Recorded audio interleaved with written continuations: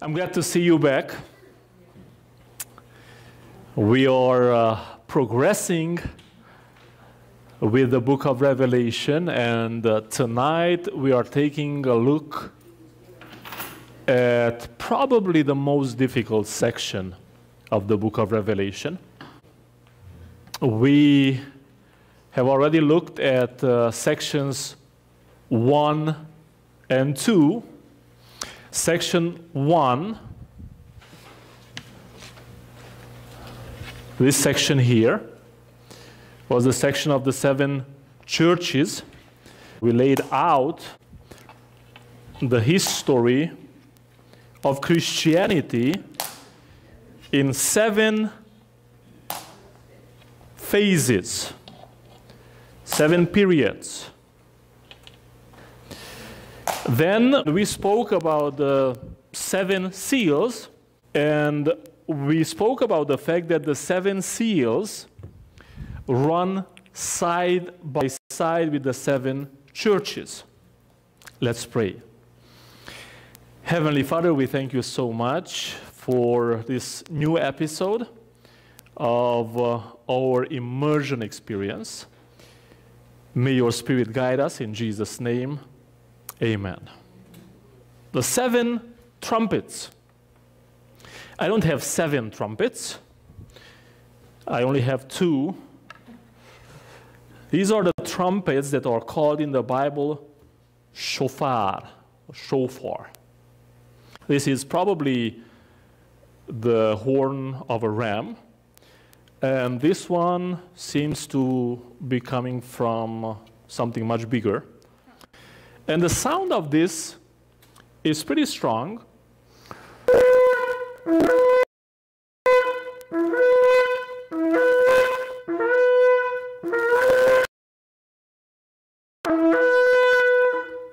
So this was the sound, and here we are tonight in this section, section three.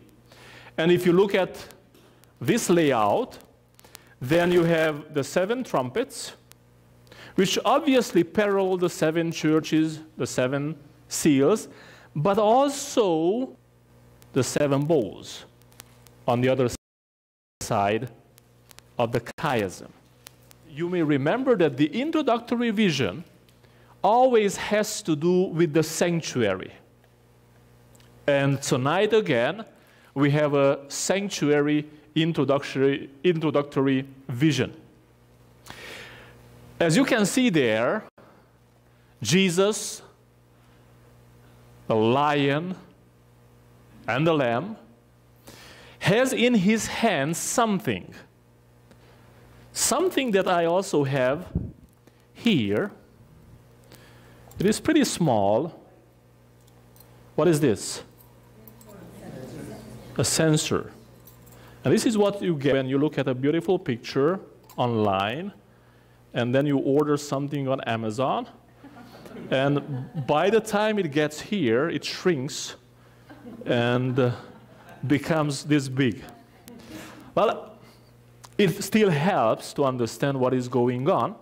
8.5, okay, then the angel took the censer, filled it with fire from the altar, from this altar now, because he came from that altar to this altar, he presented incense here, and then threw it to the earth.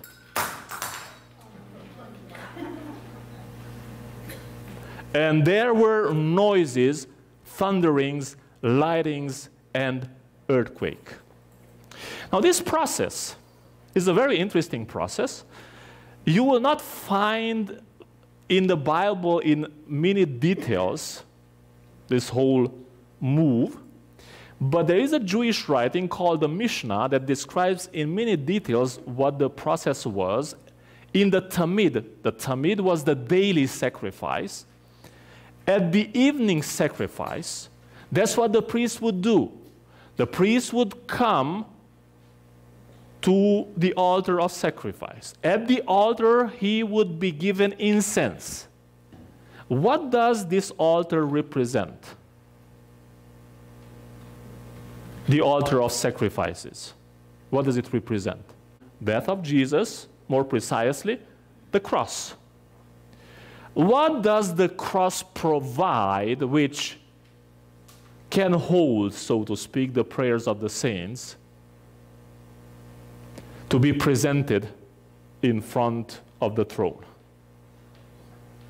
What is to be mixed, if you want, with the prayers of the saints so it can be presented in front of God? The death or the sacrifice of Jesus Christ, we say the merits of Jesus Christ. Does that make sense now? Okay, so Jesus does something here at the altar that together with the prayers of the saints is taken inside here.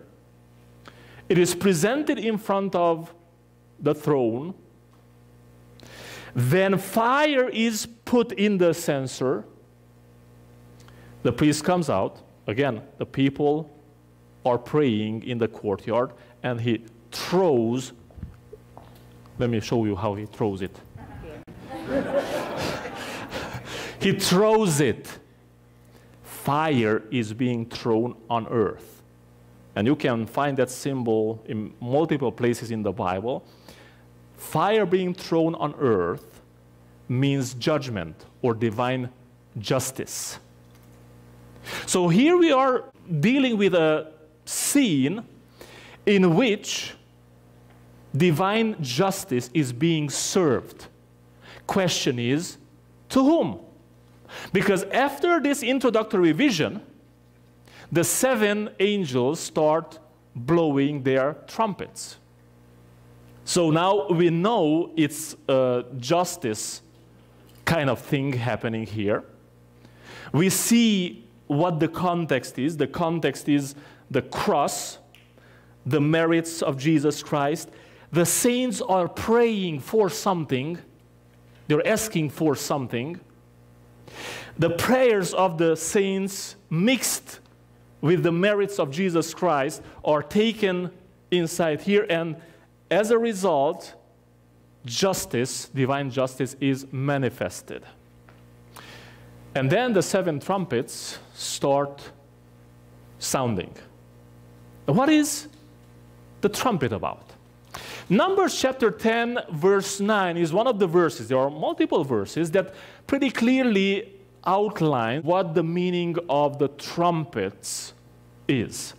When you go to war in your land against the enemy who oppresses you, so this is for a scenario in which you are attacked. It's not you attacking, you are being attacked.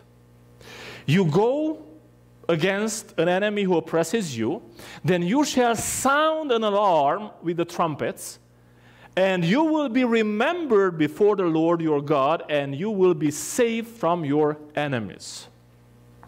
So the context here is some sort of conflict, some sort of war between God's people and the enemies of God's people.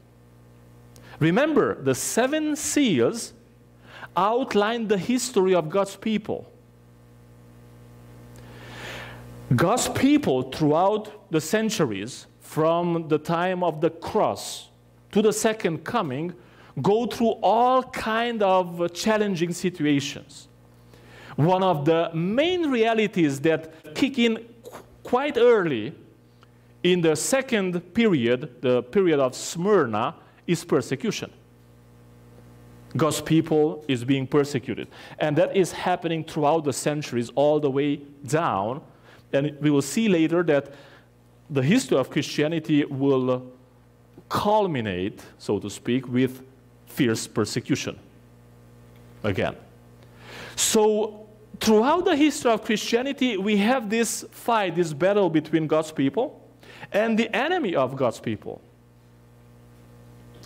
What we have in the seven trumpets, actually, is the trumpet being blown, asking for divine justice to be manifested as God's people is going through the hardships caused or oppression caused by the enemies of God's people. So that's the story of the seven trumpets.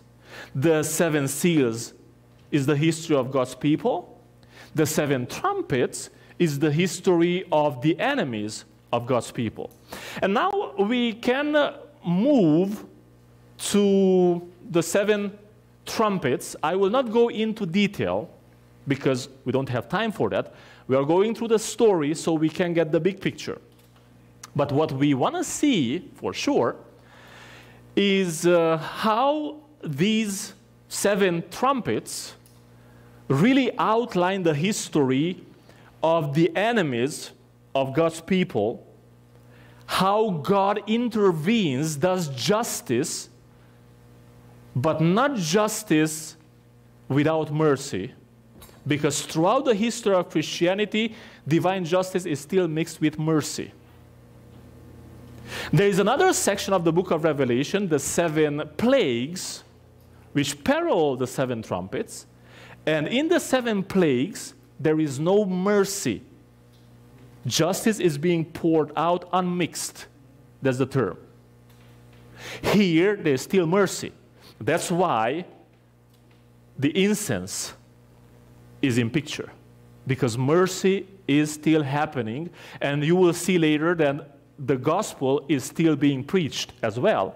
Whereas in the seven plagues, there's no need for the preaching of the gospel. Why? Because mercy is not available at that time. So here we are dealing with divine justice. I can call it preliminary justice. But let's go to the seven trumpets. The first angel sounded, and hail and fire, hail and fire is justice in the Bible, followed mingled with blood, and they were thrown to the earth, and a third of the trees were burned up. You know what trees symbolize in the Bible? Let me just give you a hint. Jesus says, tree. What will they do to the dry tree? What was he speaking about? The green tree was him. Who was the dry tree? People of Israel. So a third of the trees. Now, please also understand that in the Bible, one third is always the portion of the enemy.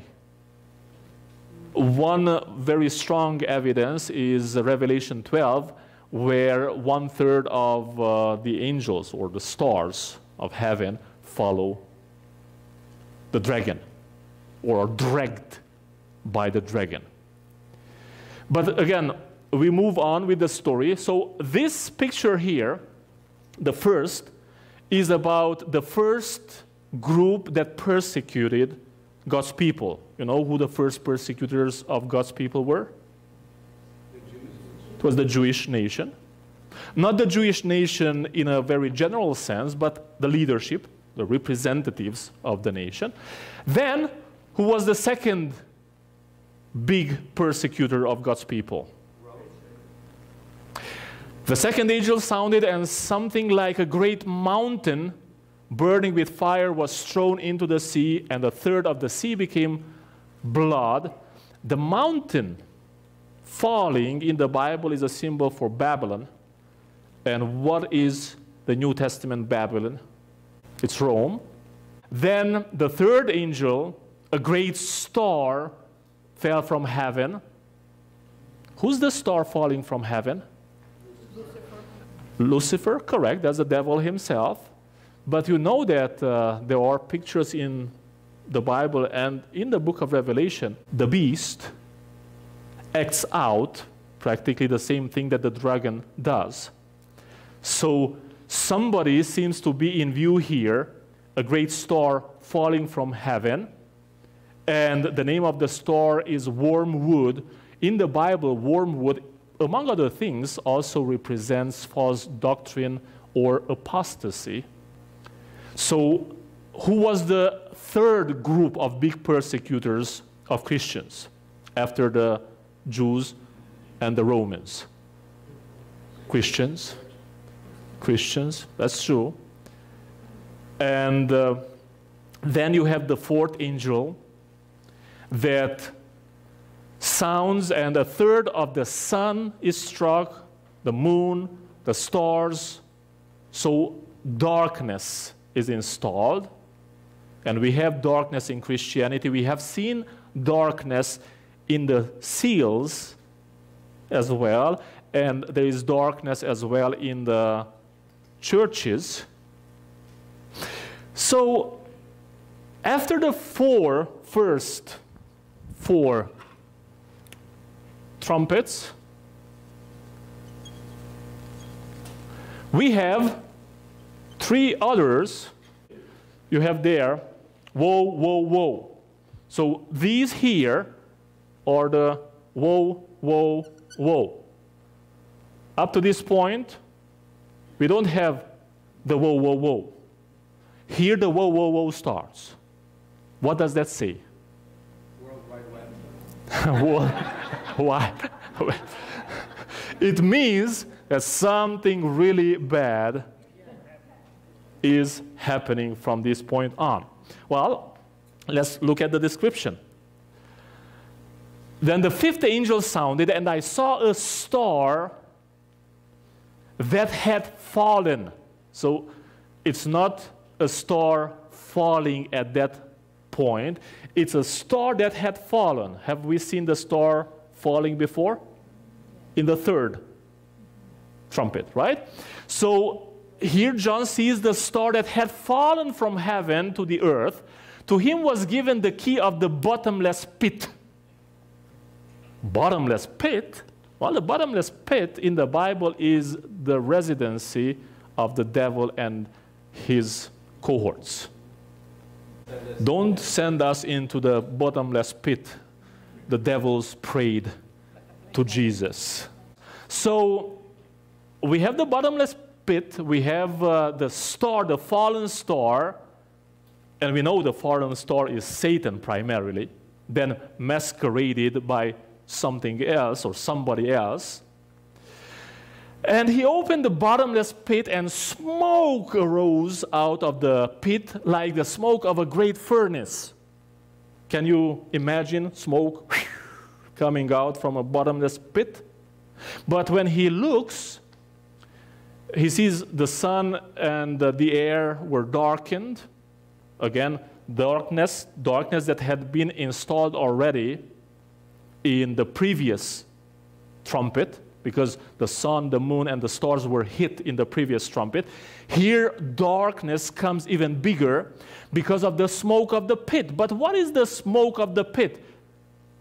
Because out of the smoke, locusts came upon the earth, and to them was given power as the scorpions of the earth have power.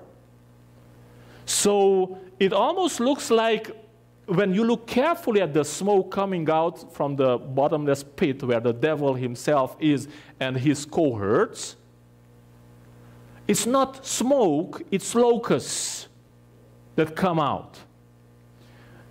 And they do something like scorpions. They were commanded not to harm the grass of the earth or any green thing or any tree, but only those men who do not have the seal of God on their foreheads. Who suffers because of this invasion of the demonic forces? God's people? No, the enemies of God's people. Not those that have the seal of God, those that do not have the seal of God. So, what we know up to this point is some sort of demonic invasion. They had as king over them the angel of the bottomless pit. Who's that? Whose name in Hebrew is Abaddon, but in Greek he has the name Apollyon, English destroyer. So this is an invasion of demonic forces led by the devil himself. Remember, to him or to the angel of the bottomless pit was given the key of the bottomless pit. When in the Bible you read was given, and it's not indicated who does it, who gives it, who gives it, actually. God gives it. So there is a situation here, or starting from here, when God kind of gives over one third, that is, the segment of the devil, to the torture or to the invasion, the attack of the enemy himself. Then the sixth angel sounded, yeah, because the first woe is past. Two more woes are coming. The sixth angel sounded, and I heard a voice from the four horns of the golden altar, which is before God, saying to the sixth angel who had the trumpet, Release the four angels who are bound at the great river Euphrates.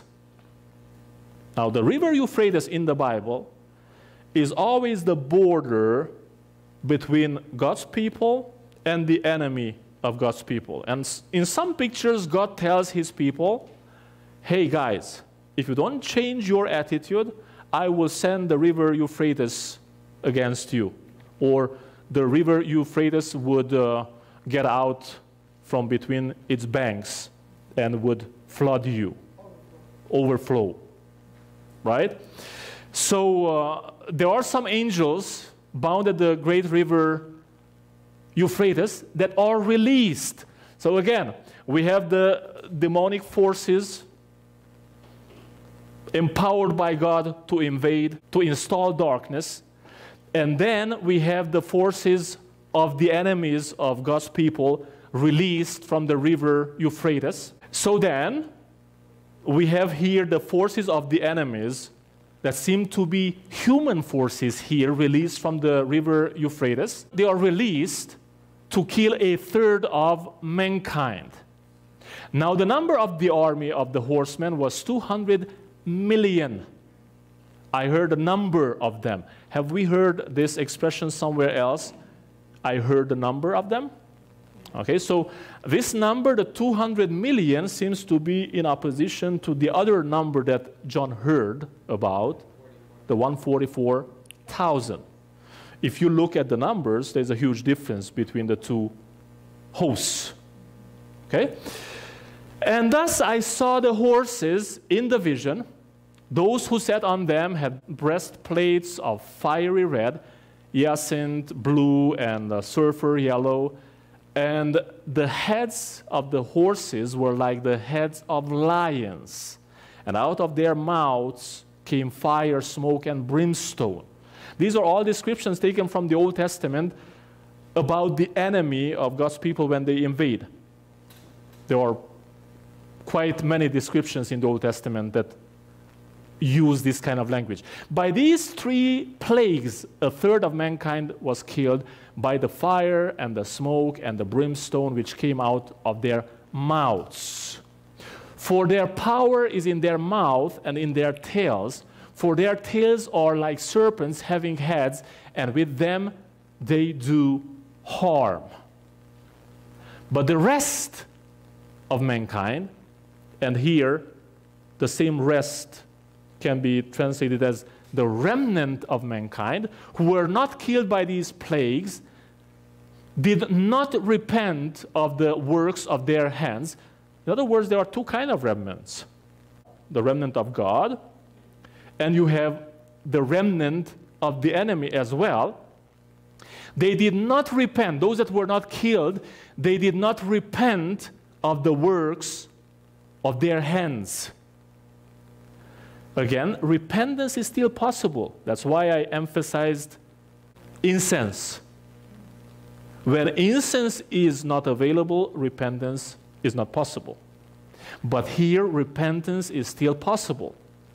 That's why I say that justice is still mixed with mercy. And they did not repent, again in verse 21, of their murders, of their sorceries, of their sexual immorality, or their theft. Let's recap what we had up to this point. We had the first four seals last time, and the first four seals were very similar. Horses, four horses. They were similar. after the first four seals, the picture changed somewhat. You didn't have horses, you had some other things. Similarly, here in the trumpets, you have the first four trumpets, somewhat similar, but then from five on, it's different. It's the same picture that I put here. From five on, the woe starts, right? Whoa, whoa, whoa. So it's different. So you have a group of four, then you have a group of three. But between the sixth and the seventh, here, you had like a parenthesis of the sealing. You remember the angel that came with a seal of God, and uh, somebody was telling the winds at the four corners of the, of the earth not to release the wind yet until the sealing is done. Similarly, here, between the sixth and the seventh trumpet, we have this parenthesis about witnessing. Why is this important? It is important so that we can see that indeed the seven seals and the seven trumpets are parallel. So, in the seven seals, we saw the history of God's people. In the seven trumpets, we are seeing the history of the enemies of God's people. But right here, in between the two final phases of the history of Christianity, we have chapters 10 and 11. And uh, let's see what it entails. I saw still another mighty angel. So we had the seven angels with the trumpets. Then we had one angel with the censer. This is still another mighty angel. Coming down from heaven, clothed with a cloud, and the rainbow was on his head. His face was like sun, his feet like pillars of fire he had a little book open in his hand, and he set his right foot on the sea and his left foot on the land, and cried with a loud voice as when a lion roars. Please imagine the picture. An angel that appears like this, one foot on the land, one on the sea. What does that represent? Who's in charge here? Who's in control here, right? He is, he is in control. And this angel, if you look carefully, is described in a language in which Christ is usually described. The angel whom I saw standing on the sea and on the land raised up his hand to heaven and swore by him who lives forever and ever, who created heaven and the things that are in it, the earth and the things that are in it, and the sea and the things that are in it, that there should be delay no longer. Now, other translations say there should be time no longer. In uh, Greek, in the Greek language, there are two words for time. There is time that is like this, a period of time, and there is time like a point, which is just a moment in time. One is uh, kairos, the other one is chronos. Which word is here? Chronos. Okay, interesting. So, in other words, there is no more chronos, no more time period. What is this about? In Daniel chapter 12, verse 4, the angel tells Daniel, Shut up the words and seal the book until the time of the end.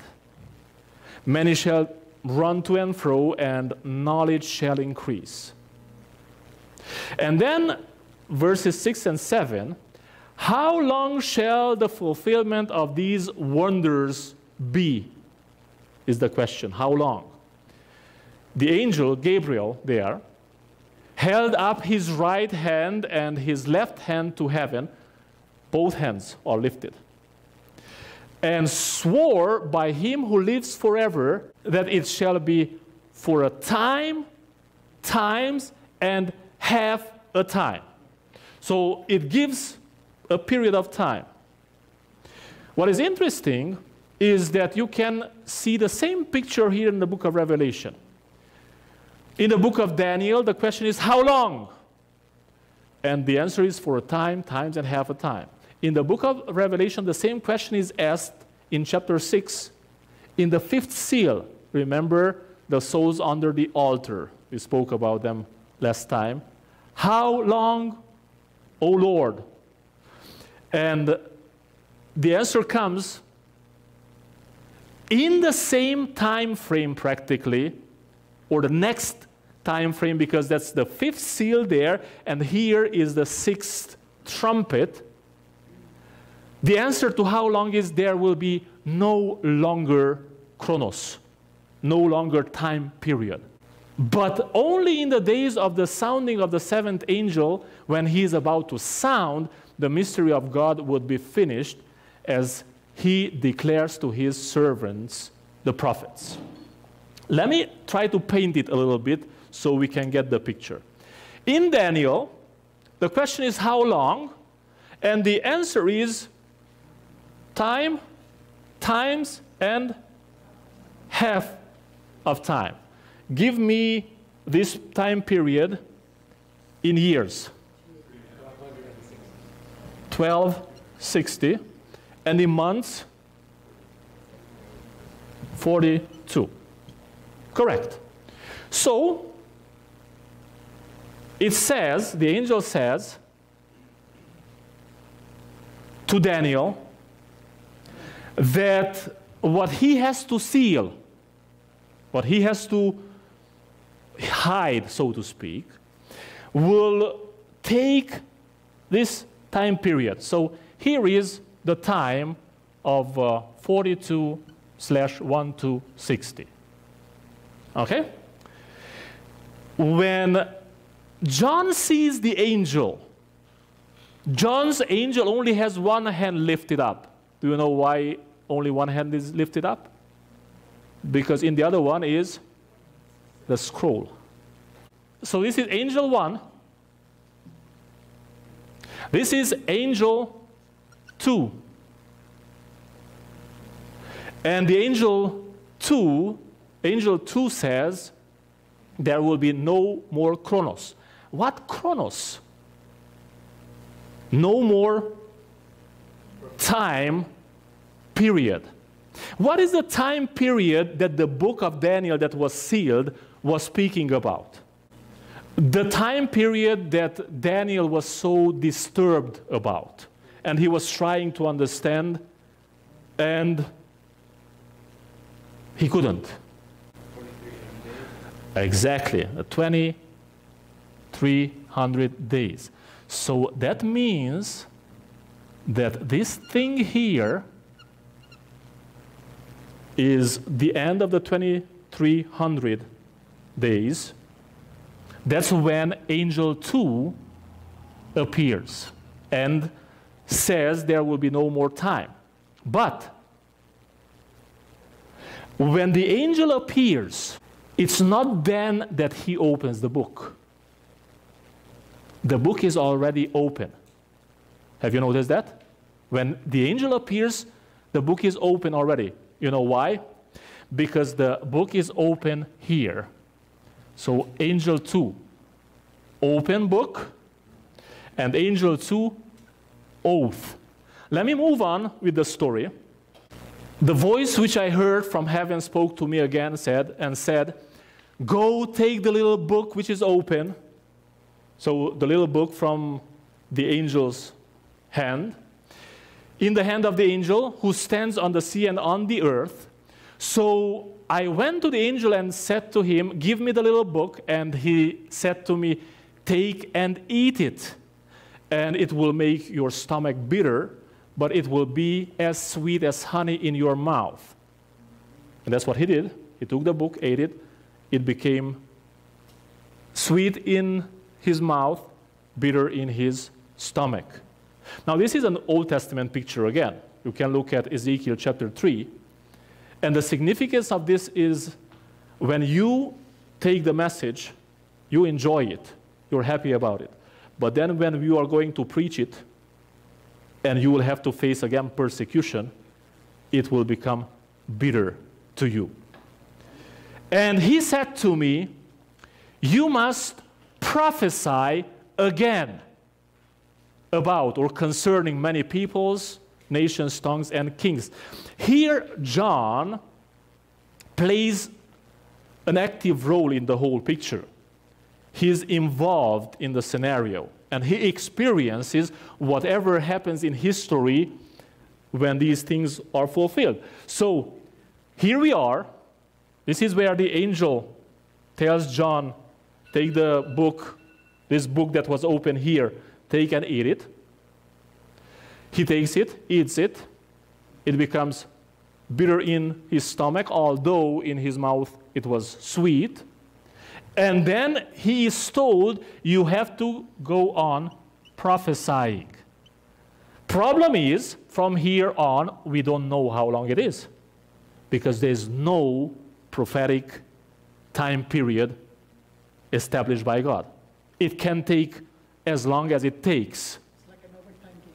It's like over time, there are some factors that play into that, but it is not established. Hey, this is what it has to take. So then, I was given a reed like a measuring rod, and uh, the angel stood, and the angel stood, saying, "Rise and measure the temple of God, the altar, and those who worship there." Uh, please imagine this in uh, John's situation when he eats the book the scroll, the little scroll, he eats it. It becomes bitter in his stomach, and he uh, sits down in pain. And the angel comes and says, Rise. See the picture? Rise and measure the temple of God, the altar, and those who worship there. I can't enter details here now, but this is about the Day of Atonement, obviously, because these elements temple, altar, and worshippers, plus one more, the priests, were only measured in the Old Testament on the Day of Atonement. Why is the priest not measured here? Because the priest is Christ. So he doesn't need to be measured. But this is about the Day of Atonement, obviously. But leave out the court which is outside the temple and do not measure it, for it has been given to the Gentiles. It was given to the Gentiles. That's the right translation. And they will tread the holy city under underfoot for 42 months. 42 months. Huh. So this is a time period. So then, if here we, we have the sixth, please try to follow what I'm writing here. If here we have the sixth trumpet, and we are here in between the sixth and the seventh, so this is the seventh, okay?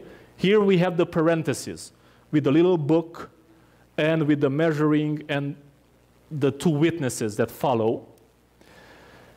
The angel says that the outer court, the court outside the temple, should not be measured by John because it was given to the Gentiles.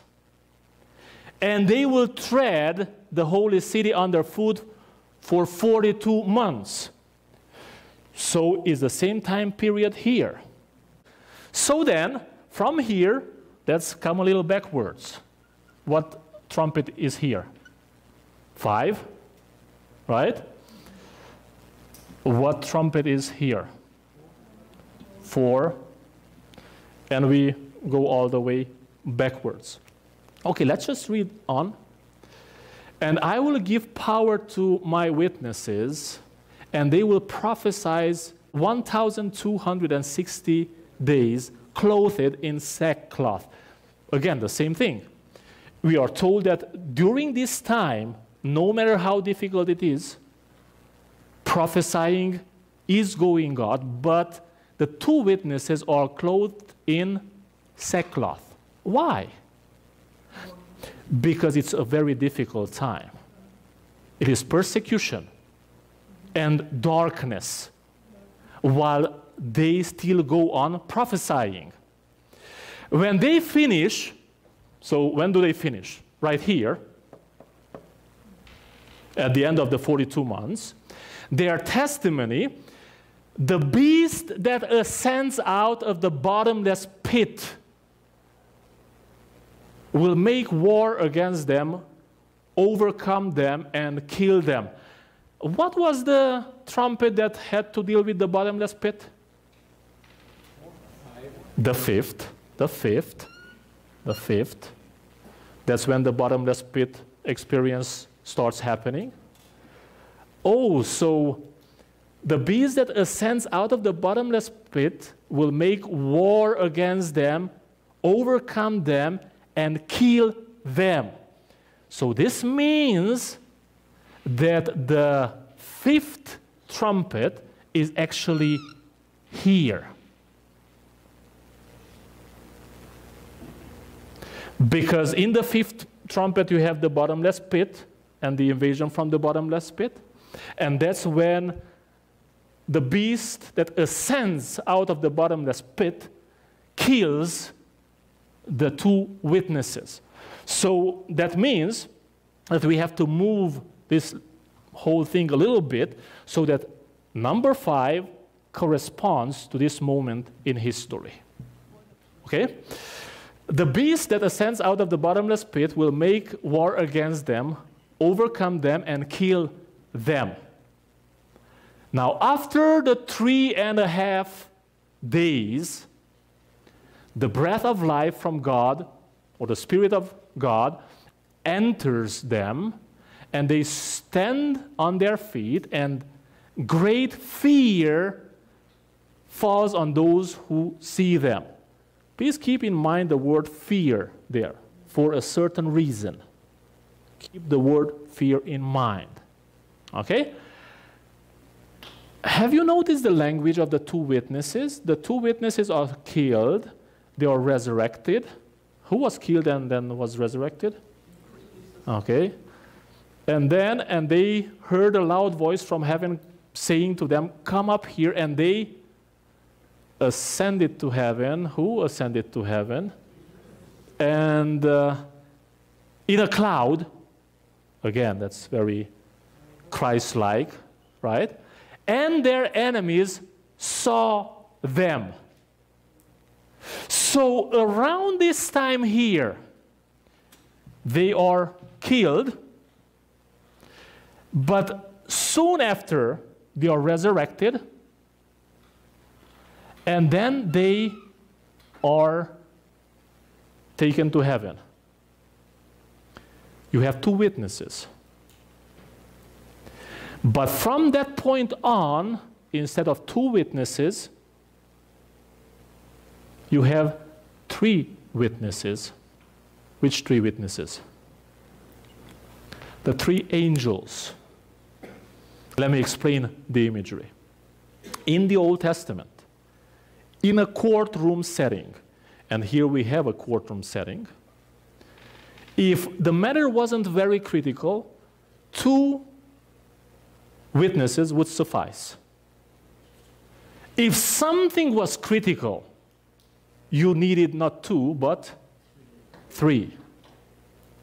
So, what we have here is the move from two witnesses to, to three witnesses. Why? Because it's becoming critical. Exactly. Now, I asked you to keep fear in mind. For a reason. What reason? Look at this other verse, 13. In the same hour, there was a great earthquake, and a tenth of the city fell. In the earthquake, 7,000 people were killed, and the rest, that is the remnant again, but this is the positive remnant, were what? Afraid and gave glory to whom? To the God of heaven.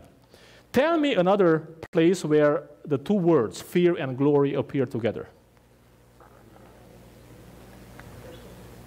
Then I saw another angel flying in the midst of heaven, having the everlasting gospel to preach to those who dwell on the earth, to every nation, tribe, tongue, and people. What? Saying with a loud voice, Fear glory and give glory to him. So the remnant is identified by those two things fear God and give him glory because it's exactly the same time when practically from, from this year on, when the oath is made, roughly the same year on, the three angels go out and focus on fear of God and the glory of God. Then the seventh angel sounded. And what is the seventh angel about? We are all the way down here, right? What was here in the seventh church? I am at the door. Behold, I am at the door knocking. Okay. What was here at the seventh seal? There was half an hour silence in heaven. The angels coming back with Jesus, emptying heaven, and uh, there's silence in heaven. And what do we have here? The kingdoms of this world have become the kingdoms of our Lord and of his Christ, and he shall reign forever and ever. And the 24 elders who sat before God on their thrones fell on their faces and worshiped God, saying, We give you thanks, O Lord God Almighty, the one who is and who was and who is to come, because you have taken your great power and, the right translation is, started to reign. What moment is that? That's the moment when justice mixed with mercy is over, and from there, there's a short little period of time when justice, without being mixed with mercy, is poured out in the shape and form of the seven final plagues. And this is the story of the seven trumpets. Now, I know there's many, many questions. I have my questions as well. So please take, please take some uh, refreshment, and uh, we are coming back for the Q&A in five minutes. So the question we want to start with is the question, uh, in the fifth trumpet, can we see a picture of uh, the Ottoman Empire, the Turks, some say the Turks, and the Arabs, when those huge invasions happened, mainly in the Christian areas, are we dealing with those invasions here? I believe the text contains an element that kind of excludes that possibility as a unique application or exclusive application. And this is the element.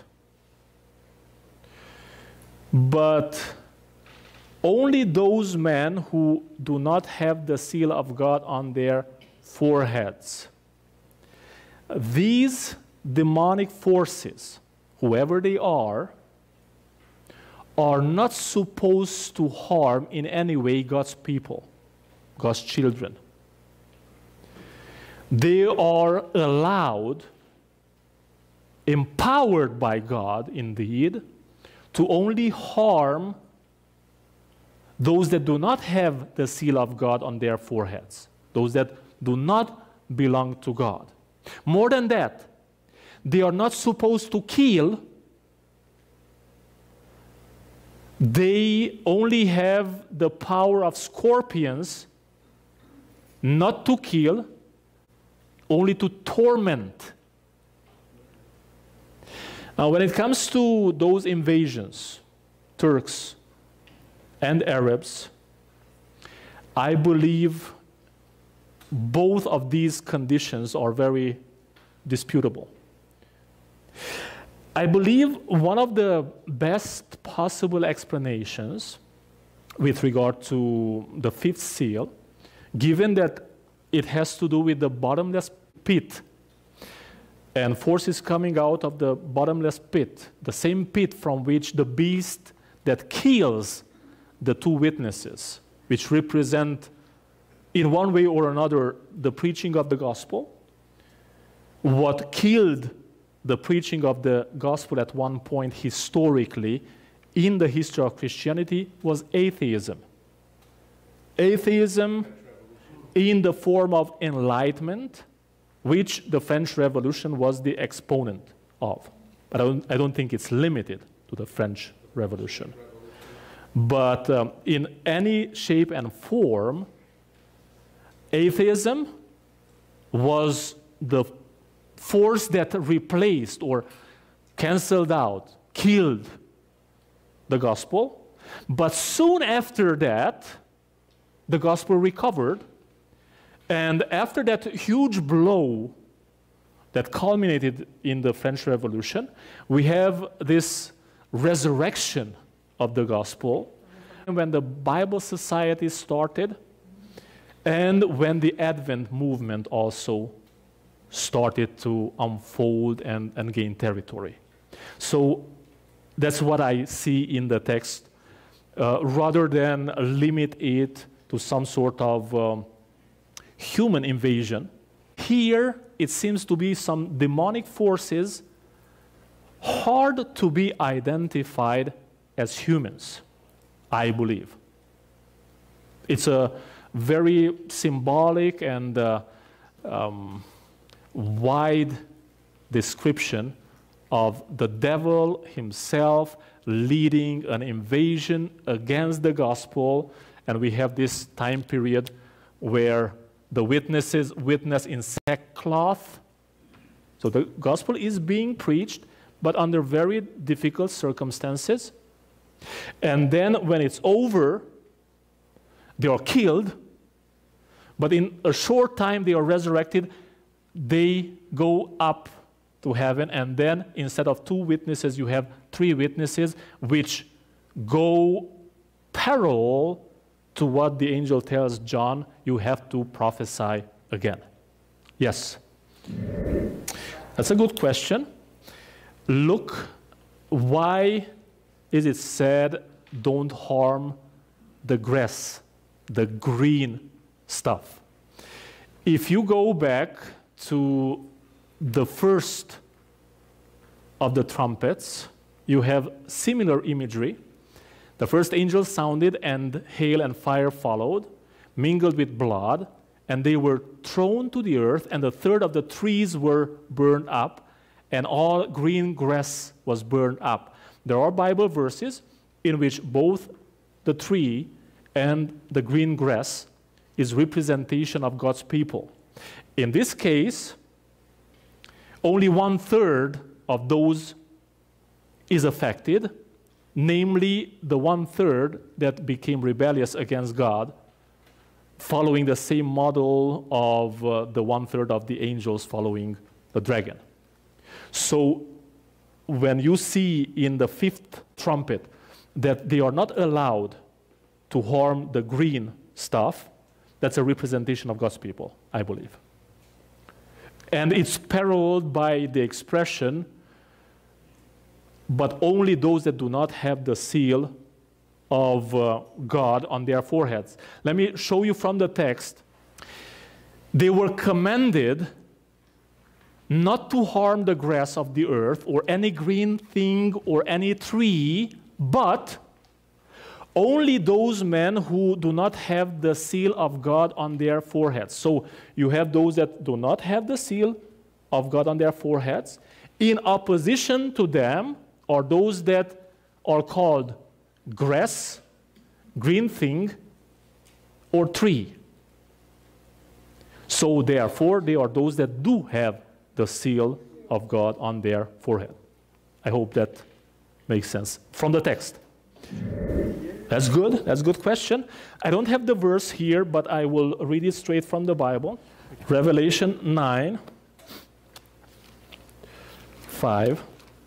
They were not given authority to kill them, but to torment them for five months. That's the verse that I was speaking about earlier, that the scorpions or the scorpion like demons, demonic forces, were not supposed to kill, they were supposed to only torment. And they were not given authority to kill them, but to torment them for five months. Their torment was like the torment of a scorpion when it strikes a man. I've never been struck by a scorpion, but what I'm hearing and what I'm reading is that uh, quite often, if the scorpion um, strikes you, then you will not die. But the pain is unbearable. Because later on, the description speaks about a situation where they want to die, but they can't. So you want to die. That's how bad it is. Again, I don't know what that means in practical terms, but that's the picture here. So the question is what about the 150? The Five months. The, uh, one, yeah, five months, which is 150 days and years as a prophetic time. Well, there are many speculations on this. Some people see some sort of uh, prophetic period of time that applies to the Turks, to the Ottoman Empire again. I don't see that in the full picture. What I see in the Bible, possible application for the 150 days, is something that has to do with the um, flood. In the flood, the waters were rising for 150 days. It can be a parallel that somehow ties into that. I looked at many different kind of explanations. I haven't found anything that would satisfy my uh, exigence at this point. But I see a valid possibility in the picture of the flood because the picture of the flood is about justice. 150 days, five months, five times three is 150 days. But again, I'm not positive. If it's historical years that correspond to those days, or it's to be taken as it is, hard to say for me. But it is a difficult time where um, those that don't have the seal of God on their foreheads are tormented by those demonic forces for that certain amount of time, whatever that entails. That's a good question. That same question can be asked with regard to the seals and the churches as well. So the question is do we have a certain chronological time frame that we can indicate when it comes to the first church, second church, third church, and then first seal, second seal, third seal, and so on, and then first trumpet, second trumpet, third trumpet. The answer is yes. But then we have to also see it's very hard to indicate precisely. There are commentators that would tell you, for instance, um, from this point to this is, uh, say, 34 when uh, Stephen was stoned to 100. Then from here to um, 313 and so on and so forth. I would not go with those very precise delimitations because it can give to some people the impression we really know everything. I believe we can explain the book of Revelation without relying on uh, numbers that we come up with. I would always use these time periods like 1 to 60, 42, um, to 300. Why? Because I have them in the Bible. But other than that, I'm uh, somewhat reluctant to be exacting. I believe it's important for us as Seventh day Adventists to be able to explain the Bible from the Bible. If you want to see invasion, for instance, in the text you can see invasion.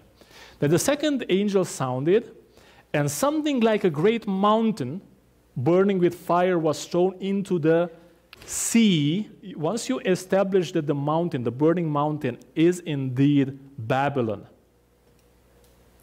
and then its correspondent in the New Testament, which is Rome, and I have Bible verse for that. So it's not a fictional identification, right? Because Peter clearly identifies in 1 Peter chapter 5 Babylon.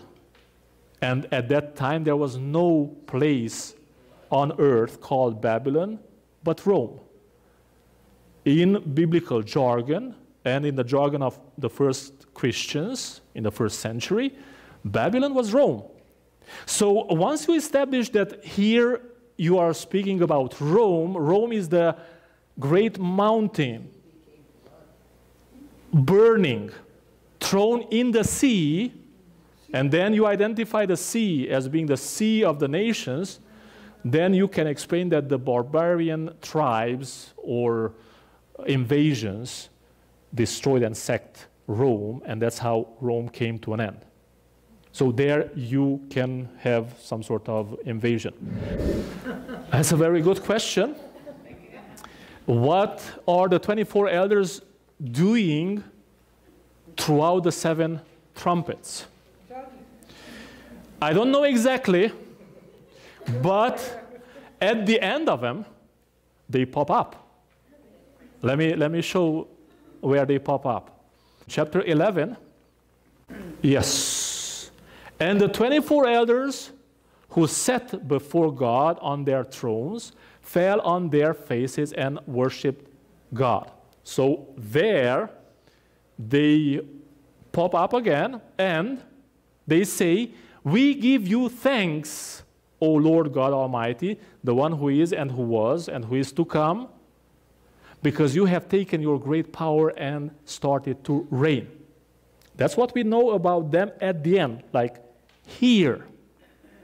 But don't forget that the first time we see them in the book of Revelation is right here at the beginning, before the seven seals even start being open. And what they do is they similarly, like here in uh, 16, the 24 elders sit before God in their thrones or on their thrones or around the throne. There is a series of events in the Bible in which you have the same picture God sitting on the throne, surrounded by some others. One is Job chapters 1 and 2. Then you have Daniel chapters 7, 8, 9, that whole picture there. Then you have uh, some other smaller pictures in some of the books of the prophets, and you have the book of Revelation. What I understand from the full picture, from the uh, composite picture, is that the 24 elders are involved in the justice process that God carries out. Applied to the history of the seven trumpets, if indeed the seven trumpets are manifestations of preliminary or partial justice interventions of God against the enemies of God's people, then somehow the 24 elders are involved. How do I know? Well, if you go to chapter 5, Revelation chapter 5, verse 8,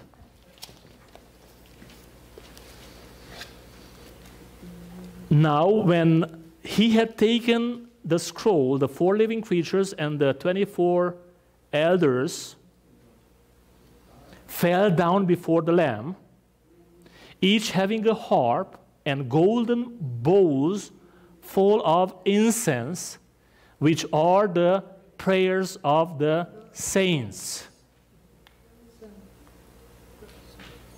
So the 24 elders have bowls full of incense. If indeed incense is the merits of Jesus Christ obtained at the cross, which is I think, proved in chapter 8, right at the beginning, when the angel receives incense at the altar of, altar of sacrifice. If that interpretation is correct, then the 24 elders holding incense in the bowl, to me, suggests that whenever God wants to intervene with justice on behalf of his people, and against the enemies of his people. Somehow the 24 elders are involved in that justice process, maybe deciding or being part of the decision of how much incense from the bowl should be mixed in that justice manifestation that God does. So if you remember last time we were speaking about the 24 elders and I was uh, presenting the view according to which the 24 elders are representatives of the unfallen worlds and they are involved in the government process of God. That's why they are sitting on thrones around the heavenly throne of the Father. Okay, so then that can mean that among them there may be humans as well. Not really. Because if in the book of Job, when you have the same kind of scene and uh, Satan appears, Satan masquerades as being the representative of planet Earth, then he seems to be the one that assumes the authority to represent the earth that would rightly be represented by Adam and Eve had they not sold the earth to the devil. So, if that is correct, then in the book of Revelation, Jesus Christ overcomes the devil, the one that masquerades as the representative of the earth, and he holds the place of uh, Adam and Eve until the reestablishment of everything with the recreation of everything. So then I don't see how humans can be involved in that group. So from the cross to the second coming, when he starts reigning, yes, so the 24 elders say, We give you thanks, O Lord God Almighty, the one who is and who was and who is to come, because you have taken your great power and started to reign. Okay? So at this time, Jesus Christ starts reigning, although he had received authority right after the cross, on earth and in heaven. But here he starts reigning, but at this point here, the new creation has not been established yet. So if you think logically, I think when the new creation happens, which is at the end of the book of Revelation in chapters 21, 22, that's the time when Jesus Christ, the one that reigns, gives that part back to whom it belonged, to whom it belonged. Yeah, okay, good question. So we have a few human beings that we know are in heaven. One is Enoch. That's probably the first, well, the first we know of. Then we have uh, Elijah. Well, Moses, Moses, and Elijah. We don't know exactly what order, though. We know Moses died before Elijah. We don't know when Moses was resurrected. Okay? So we can count three people from the Bible that we know should be in heaven. Are they the only humans that are in heaven? You are saying no because you know or because you don't know? Sorry? And then you have Christ as well as, as uh, the incarnate God. True, but those humans that are resurrected at the resurrection of Christ are in heaven from that point on. These other three that I mentioned uh, were there before. How do I know that even Moses were there? Because when he appeared on the mountain, he was coming from heaven. Otherwise, Jesus would have called him from the dead, and that would be a little shady on him. You understand the, the, process? So, so up to that point where some of those that are resurrected at Jesus Christ's resurrection and are taken to heaven as the trophy, and you can look up uh, Ephesians chapter 4, I think verse 8, where he says that he took captives or captivity captive or captives into captivity, depending on how it's translated. So those have been taken to heaven as a trophy or a proof or a token that Jesus overcame death for himself and not only for himself but also for us. So they are the first fruit represented also in the sanctuary service. Up to that point, according to what we know, there are three people. So my question was, uh, are only three people? And some said no. I was curious Based on what? They said no. Because, in my opinion, the right answer to that is we don't know, which is somewhat different, right? Absence of evidence is not evidence of absence. absence of evidence is not necessarily evidence of absence. We don't know. That's the correct answer. What we know, however, based on what I presented last time, is that the 24 elders are there around the throne before those that were resurrected at Jesus Christ's resurrection were taken to heaven. And I believe the 24 elders are the same that are also pictured as uh, messengers or watchers in the book of Daniel, chapter 7, for instance, then also the following chapters, and the same that appears in uh, the book of Job. I believe it's the same kind of setting. In other words, God's government is a shared government. When God acts, especially when he acts in just, justice, he doesn't act on his own only. He involves intelligent beings from the universe into his justice process, which I believe is remarkable. He's not a dictator. I think that speaks about his character, especially in the great conflict, great controversy scheme. And God is not one, is three in one. okay? You have plurality there already, but you also have in his government, you have uh, the 24 elders sharing some sort of responsibilities in his way of ruling the whole universe.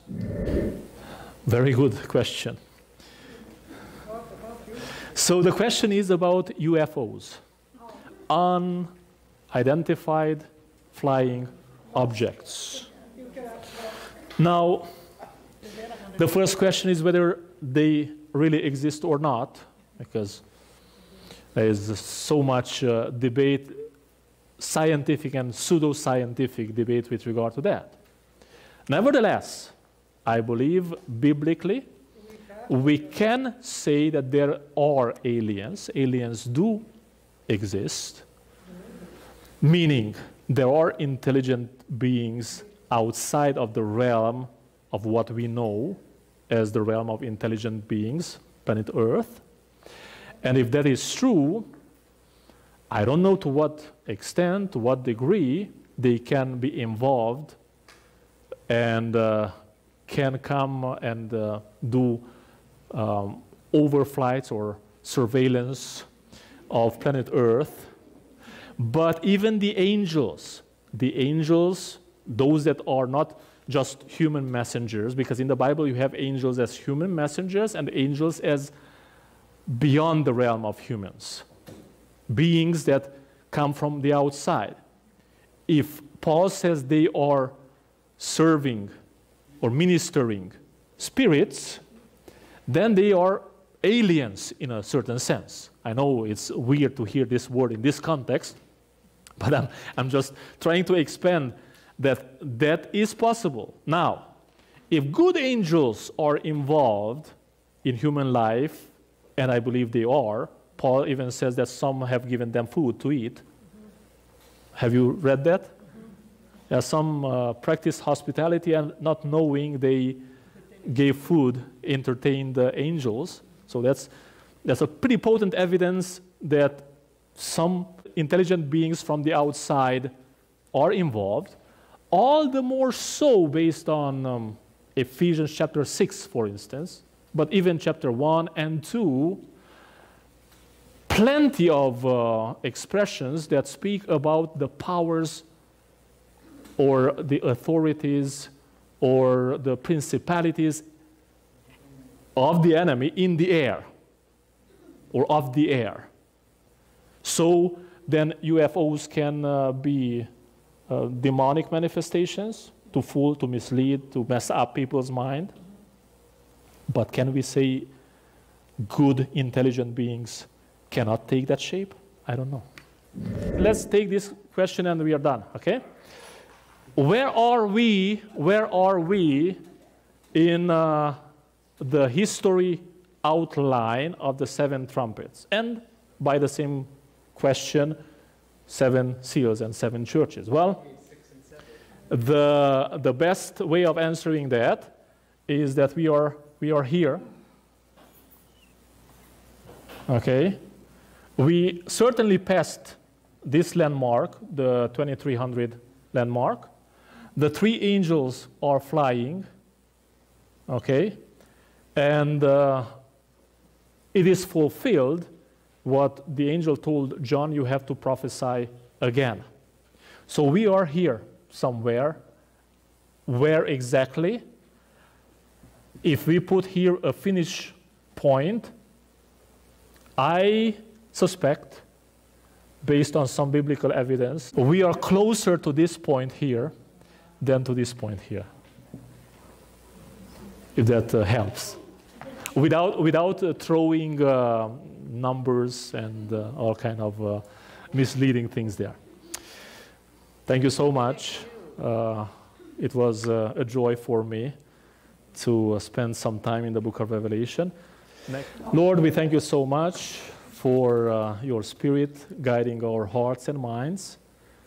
Yes, there are things that we know, there are things that we do not know, but uh, we would like to learn more and deepen our understanding so we can uh, see clarity. And in everything, in our history and the history of Christianity, we can see you. Thank you in Jesus' name, through the Holy Spirit. Amen. Amen. Amen.